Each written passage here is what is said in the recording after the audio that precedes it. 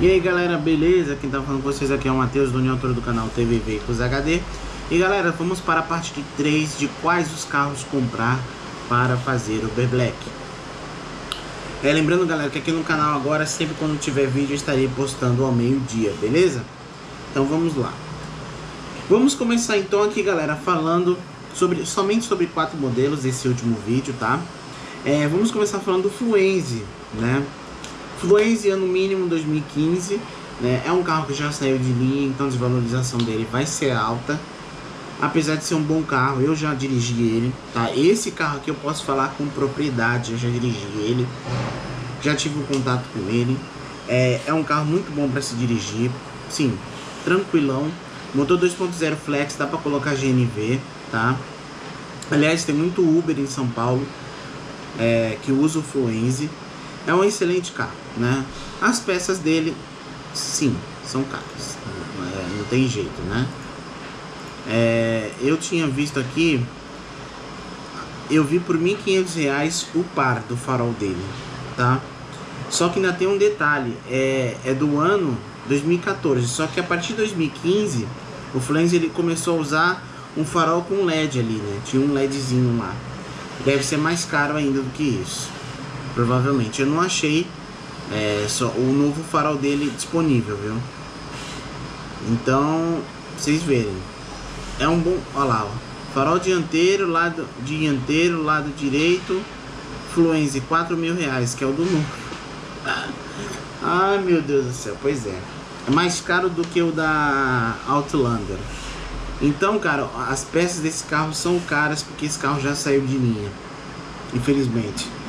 Então, é, aí vai depender mesmo de você. Se você gostar dele, quer assumir o risco, né? O outro carro, galera, agora nós vamos para. Esse faz. É só os carros que só. Esse aqui, o Fluence, só faz black. Agora nós vamos para os carros que fazem black e blackback. Tá? Vamos começar pelo Peugeot 408.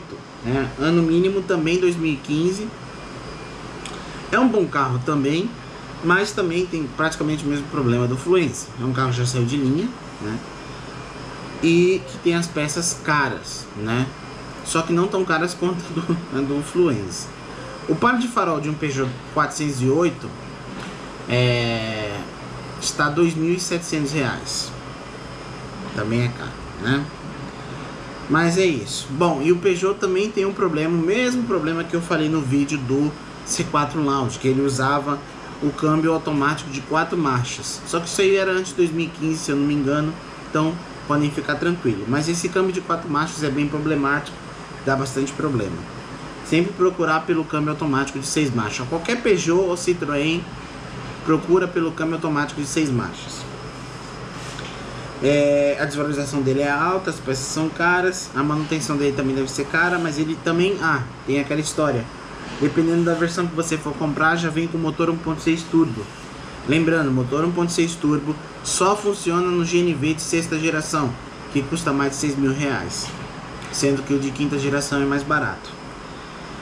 Bom, então fechamos o 408, né? Agora vamos para um carro que muita gente eu acho que nem lembra dele, né? Mas é o Suzuki Gran Vitara, tá? Também já tive contato com esse carro, apesar de ter sido menor, só foi um test drive no quarteirão. O Fluence não, o Fluence a Renault, é, a concessionária me emprestou, eu saí com o carro, dei volta, enfim. Dei uma volta, fui na praia, fiz vídeo com ele, depois saí, fui entregar na concessionária, fiquei o dia inteiro com ele. O Gran Vitara não, só foi uma volta no quarteirão, mas de qualquer forma é um bom carro também, eu, eu gostei dele, um carro espaçoso. É, ah, o par de farol dele, vamos lá, R$ 1.186, assim, foi um dos mais baratos dessa lista de hoje, tá? É o mais barato da lista de hoje. É um carro que ele é importado, né? Então as peças dele são mais difíceis. Então é aquela história, cara. Às vezes você bate um carro desse. Vamos ver se tem um, um par de para-choque dele. Vamos ver se tem aqui. Mas é assim, galera. Normalmente quando você bate um carro desse, demora para vir a peça. É, é, né? Aquela coisa toda. Tem que ter paciência. Ah não, ó. Tem um para-choque dele aqui que custa 800 reais. Para-choque dianteiro de uma Gran Vitara. Tá? É 800 reais. O ano mínimo dela é 2012, tá? Então, para ficar legal, uma 2015, você comprando uma 2015, 2014, fica bem bacana. E é, é isso mesmo. Para-choque dianteiro Gran Vitara 2009 até 2015, 800 reais. Tem para vender pelo menos no, na, aqui na internet. Isso já é bom. Mas também só tem um. Olha lá, o para-choque traseiro ó, já é 1.600 reais. Tá vendo? Uh, mas é um bom carro. Ele usa motor 2.0 aspirado. Também dá para colocar o GNV de quinta geração. Fiquem tranquilos. O câmbio é de quatro marchas, mas é um câmbio confiável, não é um câmbio que dá problema. Pelo menos eu nunca ouvi falar. Também é um carro pouco é, falado. O bom dele é que ele é um carro menos visado por roubo, né? E por ser um carro diferenciado, né? Difícil de achar, né? O bandido não vai querer roubar ele porque não vai vender nunca, né? É um carro difícil assim de vender. Não é qualquer gente que, que queira comprar um, né?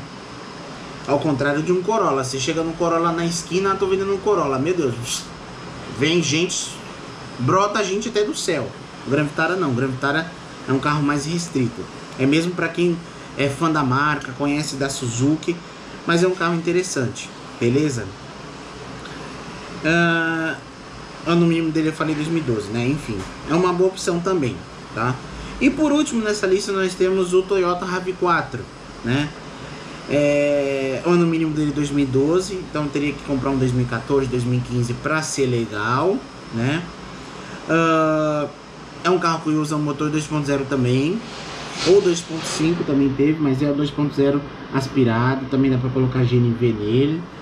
Esse carro também é o, é o carro indestrutível, né? É aquele carro que você bate, engata ré e sai andando, né? Que é um Toyota, não quebra. Usa corrente de comando, se eu, se eu não me engano. Vamos lá, o par de farol dele. Putz, R$ 2.814. É caro, caro. É um carro também um pouco desvalorizado, porque é importado, né? Todo carro importado sempre dá uma desvalorizadinha ali. É, isso é normal. Mesmo sendo um Toyota, enfim. Mas é um bom carro também. Se você tiver condições e oportunidade de ter um desse, eu acho bacana, tá? Então é isso aí, galera. Esses foram os carros de hoje. Se você tiver algum aí, alguma dica, né? Deixe aí nos comentários, beleza? Isso aí, vou ficando por aqui. Valeu, obrigado e até a próxima. Fui! É nóis!